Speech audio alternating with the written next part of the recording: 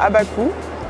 je, je, perds en finale, du coup ben, je suis vice-championne du monde et non pas championne du monde. Et, voilà, c'est une défaite qui, qui, qui apportera, j'espère, dans le futur des victoires. Et puis, puis voilà, après j'ai tout de suite rebondi parce que j'ai pu faire avec la douane et l'équipe de France militaire les championnats du monde à Rio au Brésil, que, que cette fois j'ai gagné. Euh, donc j'étais contente, ça s'est très bien passé. J'ai pu un peu voir euh, le monde des militaires et, euh, représenter la douane lors, de des cérémonies. mes prochaines séances seront le master qui se déroule dans deux semaines en Chine et puis en février le Grand Slam de Paris, à Paris-Bercy. Donc voilà, en tout cas je tenais à remercier la douane et puis à dire merci, enfin, faire un grand coucou à tous ceux qui nous suivent et qui nous supportent, les collègues douaniers.